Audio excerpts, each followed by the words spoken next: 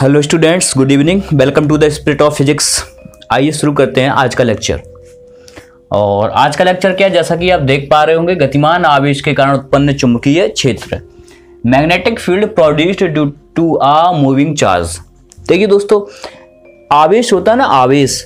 आवेश के चारों ओर होता है वैद्युत क्षेत्र। आवेश के चारों ओर का वह क्षेत्र जहाँ पे उसका प्रभाव रहता है वो कहलाता है वैद्युत क्षेत्र। ठीक है? आवेश जो होता है आवेश के चारों ओर का ऐसा एरिया जहाँ पे आ, उसका प्रभाव रहता है उसका इफ़ेक्ट रहता है उसको बोलते हैं वैद्युत क्षेत्र। अब जब ये आवेश वैद्युत क्षेत्र आवेश के चारों ओर वैद्युत क्षेत्र तो होता ही है और आवेश के कारण वैद्युत क्षेत्र होने के साथ साथ जब ये आवेश गति करने लगता है तो एक चुंबकीय क्षेत्र भी उत्पन्न कर देता है। तो अब वो चुंबकीय क्षेत्र कितना होता है हम उसको इसमें स्टडी करेंगे। देखो, हम मानते हैं कि एक कागज़ का तल है। ये कागज़ जैसा बनाया हुआ हमने। कागज़ का तल है। इसमें एक चार्ज रखा हुआ है प्लस क्यू। चार्ज कितना रखा हुआ है? Plus Q. और कागज़ के तल पर ये वी वी वेग से गतिमान है।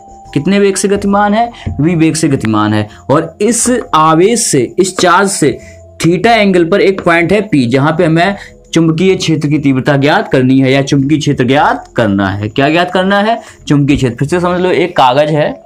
और कागज़ के तल पर एक आवेश है क्यू जो कागज़ के तल पर ही वी वेग से क्या है? गतिमान। इससे थीटा कोण पर एक बिंदु है पी और इस बिंदु पी पर हमें चुंबकीय क्षेत्र की तीव्रता ज्ञात करनी है। अब आपको इतना समझ में आ गया? क्या ज्ञात करनी है? चुंबकीय क्षेत्र की तीव्रता। तो भाई, हम मानते हैं कि माना जो प्लस क्यू चार्ज है, वो डेल्टा टी समय में डेल्टा एल दूरी तय करता है। माना माना प्लस क्यू आवेश प्लस क्यू आवेश डेल्टा टी समय में डेल्टा एल दूरी, डेल्टा एल दूरी तय करता है। डेल्टा एल दूरी तय करता है। अगर डेल्टा एल दूरी तय करता है तो इसके समतुल्य धारा कितनी होगी? इसके समतुल्य धारा कितनी होगी? समतुल्य धारा। समतुल्य धारा I equals Q upon T होता है। आवेश के प्रवाह की दर को वैद्युत धारा बोलते हैं। अब समय कितना लिया था हमने? डेल्टा टी तो आई इक्वल्स क्या हो जाएगा? Q upon delta T I equals इतना हो गया क्यू अपॉन डेल्टा टी ठीक है? उसके बाद अब वेग दिया है v वेग बराबर क्या होता है? वेग बराबर फॉर्मूला होता है विस्थापन बटे में समय।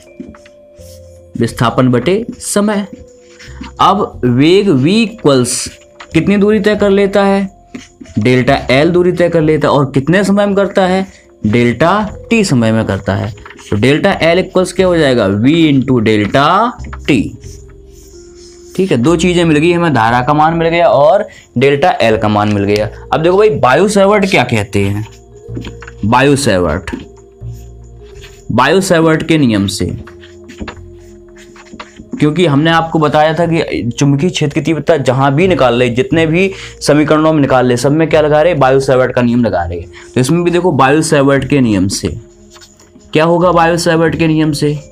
बायो सेवर्ट का नियम क्या होता है? Delta B equals mu naught upon four pi I delta L sine theta upon R square.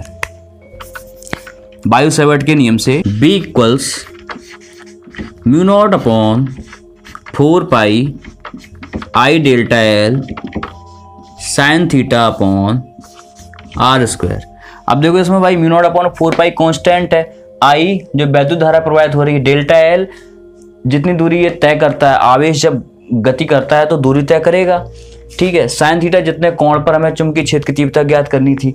उसके बाद आर क्या है? आर बिंदु पी से जितनी दूरी पर वैद्युत क्षेत्र, चुंबकीय क्षेत्र की तीव्रता है, वो दूरी है आर ठीक है, अगर आर दूरी पर चुंबकीय क्षेत्र की तीव्रता निकालते हैं। अब देखो इसमें लिखेंगे आई वा डेल्टा एल के मान रखने पर। किसके मान रखेंगे? आई और डेल्टा एल के तो B equals mu naught upon four pi. I का मान कितना था? Q upon delta T. इतना ही तो था इंटू डेल्टा एल की वैल्यू क्या है? V into delta T. यहाँ पे क्या है? साइन थीटा अपॉन में क्या था? अपॉन में क्या था? आर स्क्वायर अब देखो, डेल्टा टी से डेल्टा टी कैंसिल। तो बी इक्वल्स क्या बचा? बी इक्वल्स बचा mu naught upon four pi Q Q बचा into V into sine theta upon R square ये देखो बचा। अगर इसको सदिश स्वरूप में लिखना चाहते हैं तो देखो सदस्य रूप में, सदिश स्वरूप में B equals mu naught upon four pi देखो भाई क्यू तो था ही। वी के साथ हमने आर लिख लिया। मतलब आर का ऊपर नीचे क्या कर दिया हमने? मल्टीप्लाई तो वी आर साइन थीटा और नीचे क्या हो जाएगा? नीचे हो जाएगा आर क्यूब नीचे क्या हो जाएगा? आर क्यूब आर का हमने क्या किया? ऊपर नीचे क्या कर लिया? मल्टीप्लाई कर लिया। ठीक है? समझ रहे हैं ना? तो देखो क्या होगा? B equals mu naught upon four pi आवेश कैसी राशि है? आवेश अधिस राशि है तो इसके साथ इसका कुछ वास्ता नहीं होगा। क्यू इंटू अब ए बी साइन थीटा क्या होता है? Vector A cross vector B ये वाला फॉर्मूला पता होगा आपको। Vector A cross vector B equals क्या होता है? A vector A cross vector B equals होता है A B sine theta A B sine theta देखो भाई वी आर साइन थीटा है तो इसको क्या लिख सकते हैं? इसको लिख सकते हैं vector V cross vector R और नीचे क्या हो जाएगा? R Q. और इसका मात्रक क्या होगा? एक तो इसका मात्रक यही होता है। कौन सा? ये वाला। न्यूटन प्रति एम्पियर इंटू मीटर। अथवा टेस्ला भी इसका मात्रक है। टेस्ला लिख सकते हैं। है ना? बस, हो गया। गतिमान आवेश के कारण उत्पन्न चुंबकीय क्षेत्र इतना छोटा सा डेरिवेशन है। मुझे उम्मीद है आपको वीडियो पसंद आया होगा। अगर वीडियो पसंद आया हो तो वीडियो को लाइक करिएगा चैनल को सब्सक्राइब करिएगा और अपने दोस्तों तक इसे शेयर करिएगा, ठीक है? और बिना स्किप हुए अब तो पता नहीं देखा है, आपने नहीं देखा है। मिलते हैं फिर किसी नए वीडियो में। तब तक के लिए पढ़ते रहिए। राधे राधे।